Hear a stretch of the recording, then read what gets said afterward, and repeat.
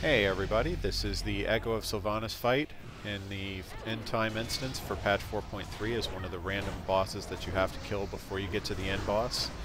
Sylvanas is a very fun fight. She's a little undertuned in my opinion, but I think she's just about right. Maybe a little more damage will do it.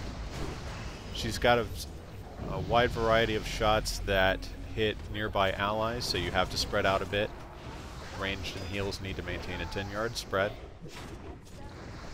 and she will also on occasion hop up into the air and do what's called blighted shot where she'll blanket a small area with a line of plague, cloud, what have you.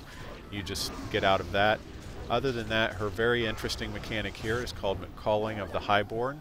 She'll suck everyone into the center and summon eight ghouls. The ghouls link together with laser beams and they spawn this death cloud behind them.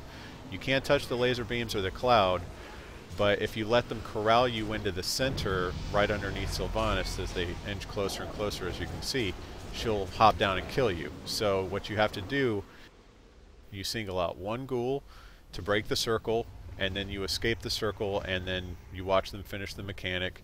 She slams down, hopefully everybody lives. We lost a hunter here, I think, because he got a little ADD and started hopping around behind one of the ghouls that was still alive, and the cloud killed him.